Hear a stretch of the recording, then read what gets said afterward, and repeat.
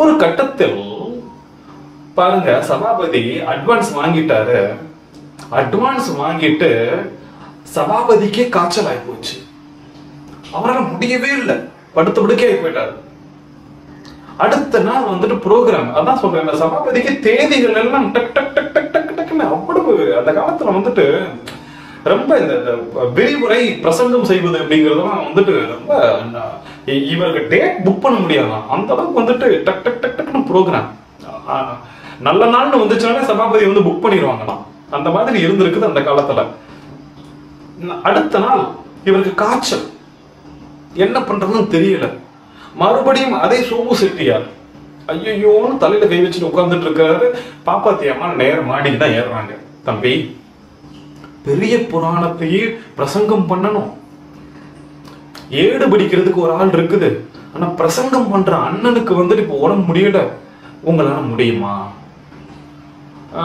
அண்ணன் கூப்பிடுறாரு. கீழே இறங்கி போறாரு ராமலிங்கம். தம்பி இந்த அந்த பூ பழம்லாம் போயிட்டு நீ சோமு செட்டியார்கிட்ட கொடுத்துட்டு அண்ணனுக்கு உடம்பு முடியலன்னு சொல்லிட்டு சும்மா ஏதாவது ஒன்று ரெண்டு பாட்டை மட்டும் பாடிட்டு மக்கள் ரொம்ப அப்செட் ஆயிடுவாங்க. ரெண்டு பாட்டை மட்டும் பாடிட்டு வந்துரு அப்படின்லாம் சொல்லி அனுப்பிச்சிருக்கிறார்.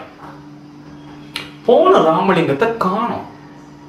ஏழு மணி சாயந்தரம் எட்டு மணி ஒன்பது மணி குறைஞ்சபட்சம் ஒன்பது மணிக்காவது வீட்டுக்கு வந்திருக்கணும் வரல பத்து மணி பதினொன்று மணி நைட்டு பன்னெண்டு மணி. பாப்பாத்தியம்மா வாசலுக்கு வந்து வந்து வந்து வந்து எட்டி எட்டி பார்க்குறாங்க. இன்னும் பிள்ளைய காணோம் கொழுந்தனார. கொஞ்ச நேரம் கழிச்சு பார்த்தா தூரத்தில் பக்கத்து வீட்டுல போயிட்டு மாடு வெட்டி போயிட்டு வந்துடலாமா இங்க உள்ள கணவன் காய்ச்சலோட படுத்து கிடக்குறாரு. போயிட்டு வந்துடலாமா ஏற்பாடு பண்ணிட்டாங்க அந்நியார். பக்கத்து வீட்டில் கூப்பிட்டு மாடு வெட்டி அது ரொம்ப தூரம் வேறையா. அண்ணன் வேற கேட்கிறாரு எப்படிம்மா நீ தனியா போயிட்டு? இல்லைங்க ஐயோ பிள்ளை காணும். அப்படின்னு பாப்பாத்தியம்மா மாடு கட்டி அதை வண்டி கட்டிட்டு போயிடலாம்னா பக்கத்து வீட்டில் சொல்லி ஏற்பாடு பண்ணிக்கிட்டு இருக்கிறப்ப தூரத்துல வர்ற அந்த இது தெரிஞ்சிருச்சு. ராமலிங்கமும் கூட இன்னும் ஒரு ஆளும் கையில வந்துட்டு மாலை பழங்களோடு பணம் இதெல்லாம் எடுத்துக்கிட்டு அப்படியே வர்றது தெரிஞ்சவொடனே பார்த்துட்டு பாப்பாத்தியம்மாளுக்கு ஒரு சந்தோஷம். பாப்பா பாப்பா என்னப்பா லேட்டு பன்னெண்டு மணி ஆகி அண்ணி ரொம்ப விசேஷமாயி போச்சு அப்படின்ட்டு அதை ராமலிங்கம் கூட சொல்லவில்லை. கூட வந்த தான் சொல்லியிருக்கிறார் ஆஹா உங்க கொழுந்தனார் என்ன பண்ணி புட்டார் தெரியுமா? என்று அந்த பிரசங்கம் எவ்வளவு அற்புதமாக நடந்தேறியது என்பதை சொன்னார். இங்கு தொடங்குகிறது. பாருங்க நான் இங்க பாருங்க இந்த முத்தாளம்மை அப்படின்னு ஏடு படிக்கிற அந்த கேரக்டர் அவருடைய மகளுக்கு உடம்பு முடியவில்லை. ஐயா எனக்கு விடுமுறை கொடுங்கள் என்று நான் ஓடிச் சென்றதையும் நான் பிரபஞ்ச இயக்கமாக நான் பார்க்கிறேன் சரியா?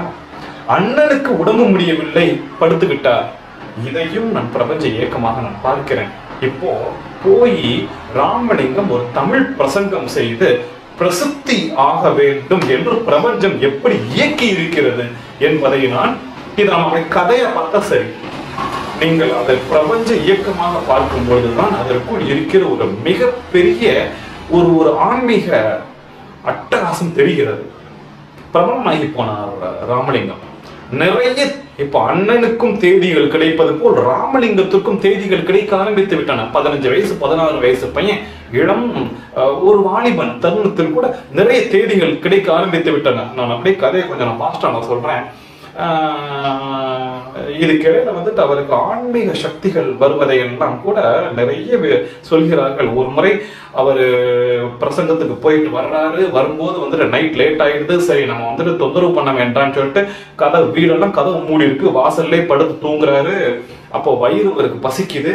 பசிக்கும் பொழுது உசுப்பி விட்டு என்னப்பா பசியில படுத்து கிடக்க கூப்பிட வேண்டியதுதானே பாரு நான் தொடர்ந்து பார்த்த பிறகுதான் தெரியுதுன்னு அக்கா அப்போ வந்துட்டு வீட்டுல உண்ணாமுலை அக்கா வந்துட்டு வீட்டுல இருக்கிறாங்க. அவ எடுத்து சாப்பாடை ஊட்டி விட்டுட்டு அதுக்கப்புறம் வந்துட்டு போயிருக்கிறாங்க. அடுத்த நாள் காலையில வந்து வந்துட்டு உண்ணாமுலை கதவை திறந்தோம்னா என்ன தம்பி நீங்க வந்து எப்ப நீ வந்த? என்னக்கா நீ தான் நைட் வந்து ஊட்டி விட்ட சாப்பாடெல்லாம். இந்த பாரு நீ ஊட்டி விட்ட இலை கூட இங்கே கிடைக்கிறது.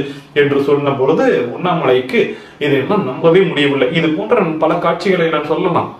ஆஹ் ராமலிங்க அடிகளாருடைய அந்த அந்த பதின் பருவ தருணத்திலேயே வந்து ஆன்மீக சக்திகள் எப்படி வந்து அமைந்தன என்ற ஒரு ஒரு ஒரு நம்மால் நம்ப முடியாத பிரபஞ்ச சக்திகளுடைய அந்த இயக்கத்தையும் சொல்லலாம். இப்படி வளர்ந்து வந்து விட்டார்.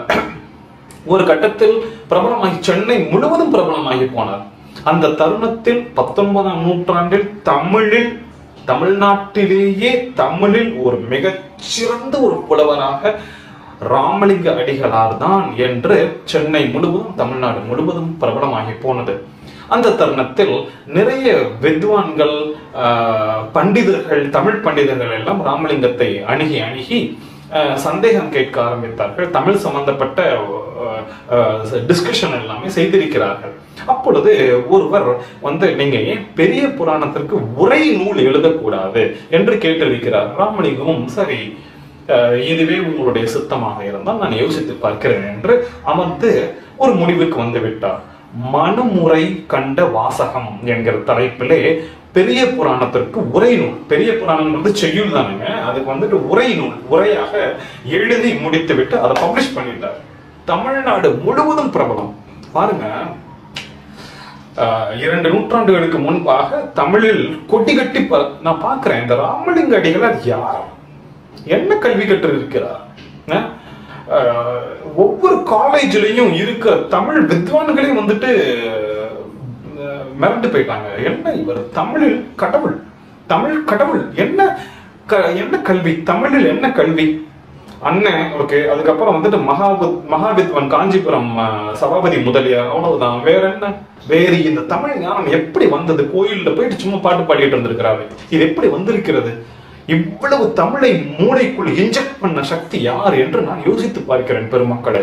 உண்மையில் அது ஏதோ ஒரு சக்தி தான் ஏதோ ஒரு சக்தி தான் இந்த ராமலிங்க அடிகளாரின் மூளைக்குள் அவ்வளவு பெரிய தமிழ் ஞானத்தை கொடுத்திருக்க வேண்டும் என்று நான் நினைக்கிறேன். அடுத்து நிறைய புத்தகங்கள் எழுதிவிட்டார். ஒளிவில் ஒடுக்கம் என்ற ஞான சம்மந்தரின் வாழ்க்கை அதுக்கப்புறம் சிவனேச என்ற ஒரு புத்தகம் செ- அஹ் அஹ் நெஞ்செறி உறுத்தல் அப்படின்னு ஒரு புத்தகம் மகாதேவ மாலை அப்படின்னு ஒரு புத்தகம் அதுக்கப்புறம் இங்கீத மாலை இப்படின்னு ஒரு புத்தகம். இதற்கு நடுவில் இந்த பண்டிதர்களுக்கெல்லாம் ஒரு குழப்பம். தொண்டை மண்டலமா தொண்ட மண்டலமா என்ற ஒரு குழப்பம். சரி நம்ம வந்துட்டு ராமலிங்க அடிகளாரை போய் கேட்டு விடலாம் என்று வந்து கேட்கிறார்கள்.